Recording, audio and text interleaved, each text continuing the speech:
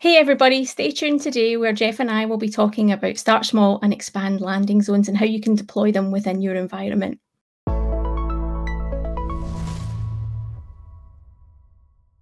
So, welcome to the Azure Enablement Show. In this show, we're having technical conversations with some Microsoft experts around the questions and potential obstacles that you might encounter along your cloud adoption journey. Now, in today's episode, we're going to be talking about the Start Small and Expand landing zone. And in order to have that conversation with me, I'm welcoming my guest, Jeff. Jeff, welcome to the show. Hey, Sarah, thanks. Glad to be here. Looking forward to it. Awesome. So, as I said, we're talking about Start Small and Expand landing zones. Jeff, could you tell us a little bit about them and why our customers would be thinking about using them?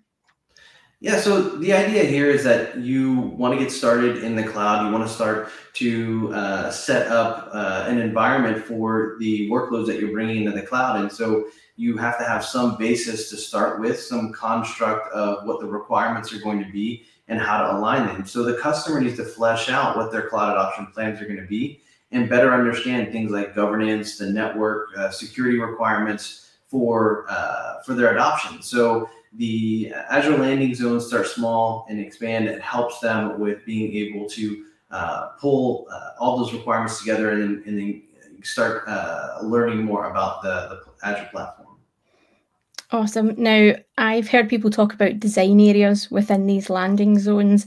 I take it they're very key to working through the process of picking the right landing zone and, and going through that. Is, is that correct to say, Jeff? Yeah, absolutely. I mean, you know, as we were just mentioning, is, is that the customer has requirements, right, around um, what they need for their workload inside of the cloud. And so let's just take a look because we've, we've got some, some design areas to help customers with this. And we take a very uh, practical, systematic approach to this. So let's look at these Azure landing zones by design area. Um, we think there are eight critical areas um, for a customer to uh, to consider, right, uh, as they go to adopt the cloud. The first one is the enterprise enrollment. And what this represents is the billing mechanism, right? The alignment from a billing standpoint of their relationship with Microsoft. And then we have identity. And identity is about IAM, it's about the access controls that you would need in the cloud in order to be able to uh, uh, securely operate those workloads.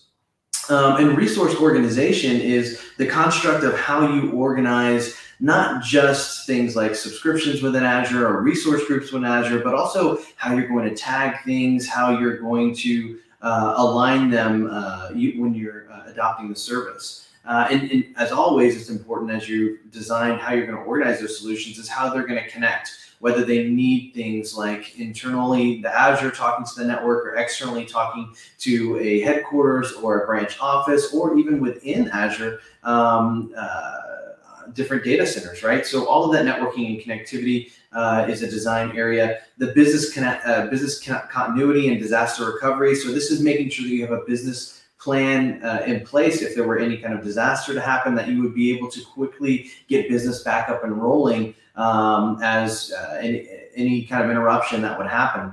Governance discipline, right? This is uh, starts with number one, making sure you've got an inventory, you understand the assets that you have in the cloud, you understand who has access to those assets. You also uh, want to uh, create a model of governance that allows you to understand the investments that you're making uh, in the cloud, and then two that, that really go together are this deployment operations and operations baseline. Because the deployment options um, there are about how you are going to take your resources and configure them into uh, the platform. And uh, the operations baseline is what must be true when it comes to uh, all of those requirements that we, we uh, talked to earlier about the network and uh, security. So the operations baseline is the minimum standard that you need to achieve, uh, minimum viable product that you need to achieve when uh, you talk about management and operations uh, for your workload within Azure. So these are all the design areas and, and that we really uh, look to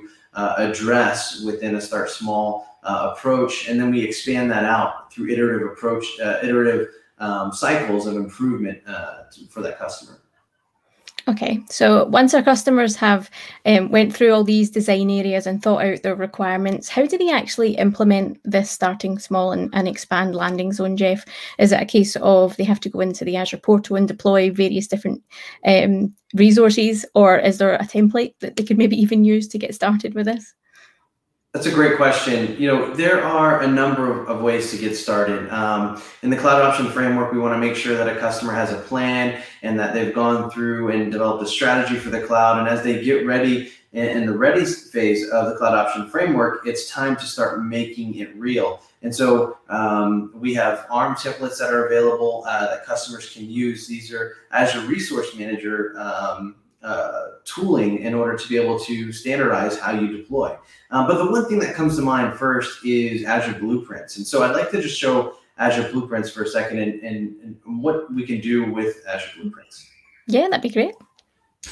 So let's take a look here. Uh, I've got the uh, Azure portal open. To get to this, you can just simply type in blueprints um, in the top of the browser and you can get here. Uh, but looking at our blueprints, we have, uh, if you go into the definition. So what is a blueprint definition? A blueprint definition is a recording of a set of artifacts that you can deploy for uh, your Azure platform, right? And so uh, let's go ahead and create one. So we'll create a blueprint. And in doing so, one of the resources that we have available uh, for customers who are wanting to start with their landing zone is we have the CAF Foundation, the Cloud Adoption Framework Foundation Start Small uh, Landing Zone. We also have one that is for migration, uh, right? So these are um, pre-built blueprints that you can go into the Azure portal like I, I'm about to do. I can just select this foundation. To get started, I'll go here and add a blueprint name. So I'm going to call this CAF Foundation 2 for my deployment here. And then I have to define a scope. This is called location. Uh, so I'll go in and I have a WVD deployment that I've been getting started on. So I'll select my WVD subscription here and go ahead and um, and save this draft. So I'm saving this draft now because I've, I've created a blueprint. Um, here we go. It's done now. Here's my CAF Foundation blueprint that's now in my subscription. Now I've gone ahead and created uh, one uh, and added a little bit of customization to it. So let's look at what's in that blueprint. So if I go into that blueprint, uh, here I can see I've got um, some Azure Security Center template uh, that's put in place along with some policies that are included in this blueprint. And then there's this section down here that's about shared services for deployment. So we've got a log analytics deployment and we have Key Vault. And then I've customized here the uh, LZ, uh, so for my VNet.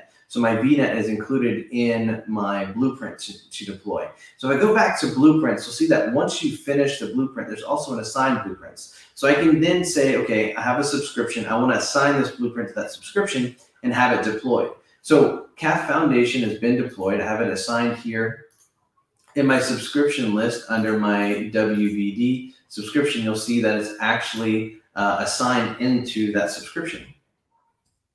Excellent. That looks really easy to get started. Um, the one thing that's going through my head when you were demoing that, though, Jeff, is what happens if something changes, if a design requirement changes after deployment or even during deployment? Can you change this, or is it a case of you need to delete it all and start again? How does that work? I think that's one of the challenges that customers face, right? Uh, is uh, change management and configuration drift and, and blueprints has versioning inside of it. So when you when there is a change that's been made number one you can audit that using azure policy. Number two you know that that configuration um, for your platform you can you can go back in your blueprint and create a second version right? So this allows you to have a um, a blueprint allows you to have a, a module for your landing zone that is the same configuration each time it's deployed. And then as there are changes that need to be made, you modify that blueprint, update it, and then redeploy it or reassign it and get those updates put into um, in your production environment. In the same way, you could have another subscription that was um, specifically for um, let's call it a, a, user acceptance testing environment. And, and so you could make changes to that blueprint until you got um, your golden image, so to speak, is where, you know, traditionally in and IT, we had this golden image philosophy when it came to VM creation process. This is like having a golden image for your landing zone. So now you can define and track uh, and keep changes uh, in the entire process of uh, deploying in Azure. That that sounds great. Now, I know you talk to a lot of customers, Jeff. Um, do you have any um, stories you could maybe share about some of the common mistakes that you see customers make, so that our audience can learn from those mistakes and not actually follow them as well? Yeah, sure, absolutely. I, you know, the first thing, uh, as always, is to be ready. You know, have your plan ready. So start with the eight critical design areas, meaning know what those requirements to be and document those requirements. You want to treat the environment that you're deploying in Azure as though it is going to be production, which means gathering all those uh, all those uh, uh, requirements across um, your network, across your governance model, right, uh, and having them put in place. The second thing that I see with customers, so the first thing is just you know gathering your your requirements in the cloud. The second thing that I often see is that you um, don't have a set process when, when a customer starts, and so that can cause rework. And so what happens is um, when you start deploying into, into the cloud, you're just trying to get something up and going for production.